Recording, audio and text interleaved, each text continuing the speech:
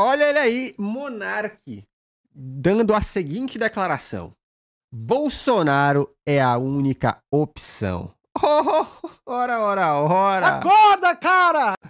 Vamos ver. Ciro Livre mandou assim: Monarque, o Cariani vai ser preso também?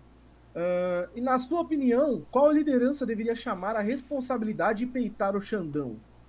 Quem vai peitar o Xandão? Olha, toda, toda liderança tinha que chamar essa responsabilidade de peitar, não Bom dia, boa tarde, boa noite, boa madrugada, pessoal do YouTube. Não só o Xandão, porque o Xandão é um, um, uma peça de um problema muito maior. Falar nisso, eu vi uma, uma confabulação no Twitter muito interessante, né? Que falava assim: eu não sei se vocês sabem, parece que o que levou o Xandão a se tornar secretário de Justiça na, na, lá do Temer e, consequentemente, indicado pelo Temer para o STF foi na época que, que o hacker invadiu o celular, o computador da Marcela Temer. E aí o Xandão foi o cara que conseguiu prender o cara. Aí a galera falando assim: olha que efeito borboleta maravilhoso, né? Pensar que tudo começou na Marcela Temer, que levou o Xandão ao STF, que hoje tá aí, né? Prendendo todo mundo. Né? Então todo mundo que, é, que quer ser livre, quer ter o direito de falar, né? O direito de empreender, o direito de pensar, o direito. Porque o monarque, o monarque que tá o tempo todo falando nesse microfone aí, ele sente que ele não tem o direito de falar. O direito de se associar com as pessoas com quem você acredita, o direito de político, de se eleger. Se você gosta desse tipo de direito, você tem que lutar contra a ditadura do judiciário, né? E, e, e isso significa defender o Bolsonaro dessas arbitrariedades. E não é, isso não é, é, eu falando que o Bolsonaro é o melhor presidente do mundo ou é um bom presidente, para ser sincero, ou um cara que eu acho que é puta estrategista fenomenal. Não, é impressionante. Ele não é o melhor presidente do mundo, eu não acho que ele é um bom presidente, mas eu, eu vou defender ele. Não, não, nada disso, muito pelo contrário.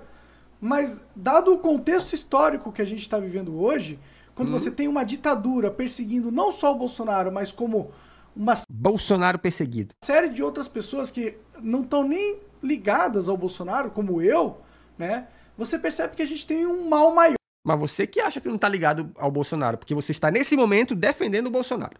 Pior, a gente tem um inimigo em comum.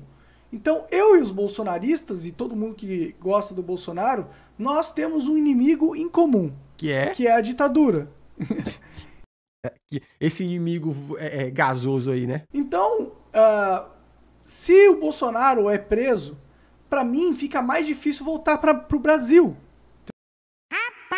Peraí, então você acha que o Bolsonaro de algum jeito poderia intervir para que você pudesse voltar pro Brasil? Porque primeiro, vamos lembrar que o Monark não tá fora do Brasil porque ele foi expulso, tá? Ele tá porque ele tá fugindo, tá com medo do Xandão, né? Depois de fazer tudo que ele fez. Mas peraí, então ele acredita que se o Bolsonaro tiver de boa, o Bolsonaro de alguma maneira vai defendê-lo? Porque vamos, vamos lembrar aqui que não tem, não tem muitos meses ele acreditava que ele não tinha sido preso ainda porque a China não queria. Lembra disso? Entendeu? Eu quero voltar pro Brasil, mas eu não vou conseguir voltar pro Brasil num cenário onde o Bolsonaro tá preso. Porque se eles podem prender o Bolsonaro, para me prender, é só eles é só eles quererem, pô. Ou você cometer crimes. Mas peraí. Entendeu? Então é muito importante que a gente defenda o Bolsonaro, não por ele, mas por todos nós e, e, por, e, por, e pelo que ele representa. Porque, querendo ou não, ele é um, um político que popular representa? que é ex-presidente e que representa uma mudança do status quo, de certa Aham, mudou muito mesmo. forma. Até que, até que não intencional. Inclusive tem o.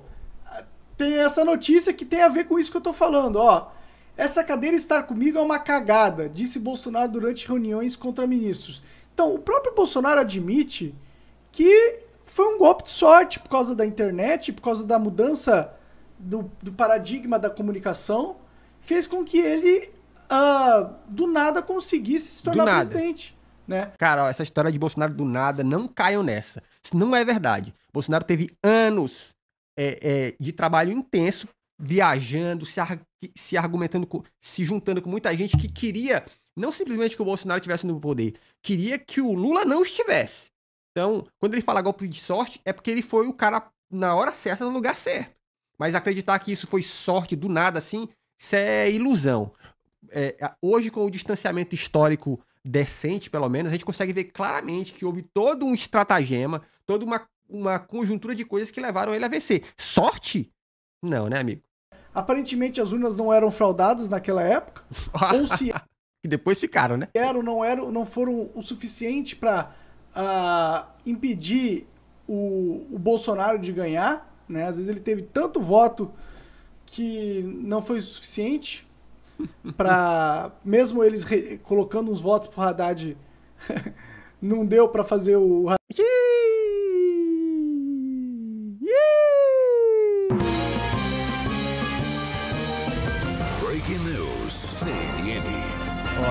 a gente acabou de ouvir o Monark falar, fazer uma acusação, né? Vocês estão ligados? Mais uma delas, hein?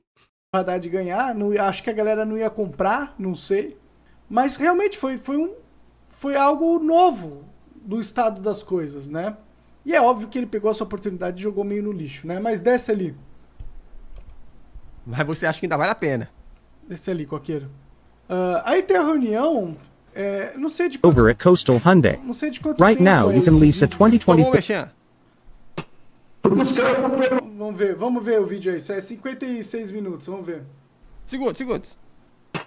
Os caras estão preparando tudo, mim, é o primeiro turno, na frase. Vou mostrar como e por quê. Como? Alguém acredita em Faquinha, Barreto, Alexandre Moraes? Alguém acredita? Você acredita, levar no braço. Quem é que vai levantar pro chefe? Acredita que eles vão meter os dedos? Estão preocupados em fazer justiça, seguir a Constituição, de tudo que eu estou vendo acontecer. Essa brincadeira aqui é uma cagada, que eles sabem de uma cagada. Eu vou explicar cagada. Não vai ter uma cagada dentro do Brasil. Cagada não vem, deixa bem claro. Como é que eu venho uma eleição? Fudido, fudido como eu, pensando na Juliana, escrotizado, sacaneado, Como. Com a porra do deputado, a porra do deputado. É desse dinheiro dele. É, é isso aí. Que? Cara, eu, sinceramente, essa- essas, essas, essas reuniões que vazam aí só fazem o Bolsonaro parecer melhor na, na fita, na real. Você acha? Ele tá falando a verdade, foi uma puta cagada mesmo. Foi uma puta cagada mesmo. E por isso que é triste a forma com que ele lidou com essa cagada, entendeu? Podia ter sido tão melhor, mano, eu acho. Mas também, eu, eu não quero ficar pe- pegando muito no pé do Bolsonaro, porque ele é um cara só, tá ligado? E o resto do entorno dele tem culpa também.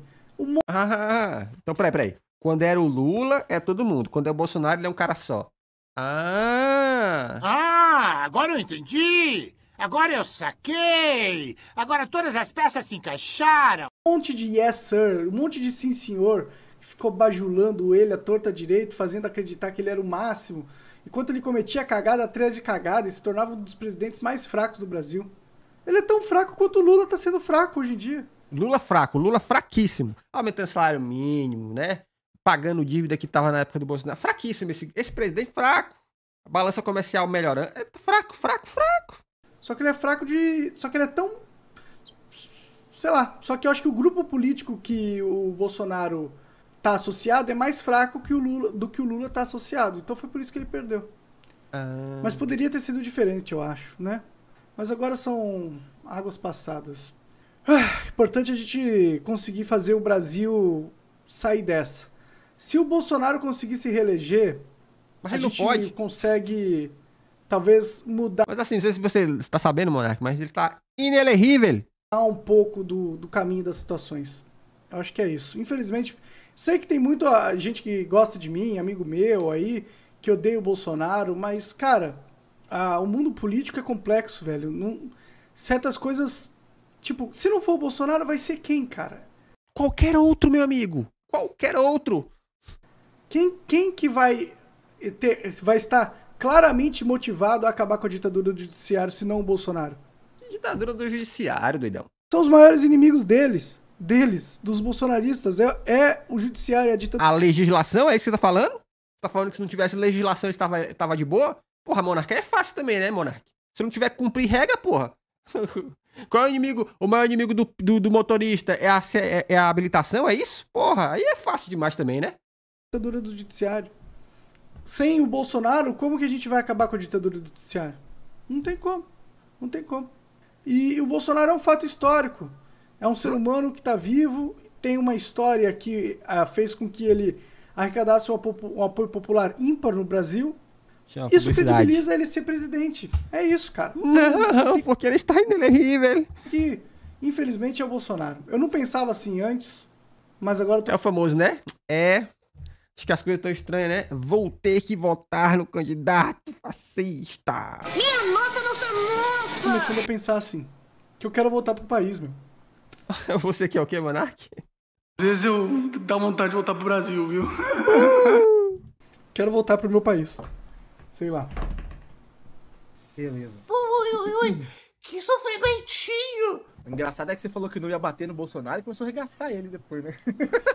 É que eu não gosto. é- Sabe por que que eu, eu, eu, eu gosto de bater no Bolsonaro? Hum. Porque um dos grandes problemas da campanha do Bolsonaro, na minha opinião, foi justamente esse monte de, de lambibota que cercou o cara e era incapaz de dar um toque no cara ou de fazer ele escutar que ele tava fazendo merda, entendeu? Hã? E aí a gente sabe que ele fez tanta merda, tanta merda, que a gente tá hoje vivendo numa ditadura Ditadura. do judiciário. Não temos previsão disso acabar. A tendência é piorar. O Bolsonaro, a tendência é ser preso e não voltar, para ser sincero. Eu acho que a gente tem que defender ele, proteger ele para que ele possa concorrer de novo. Mas eu acho que essa é, é a, é a menor das possibilidades. Tudo também, na real, vai depender do Trump. Se o Trump ganhar nos Estados Unidos, o Bolsonaro tem uma chance muito maior de voltar. Agora, se o Trump tá perder e os. Estados Unidos virar ditadura mesmo e a gente entrar na Terceira Guerra Mundial, Estados Unidos é ditadura, hein?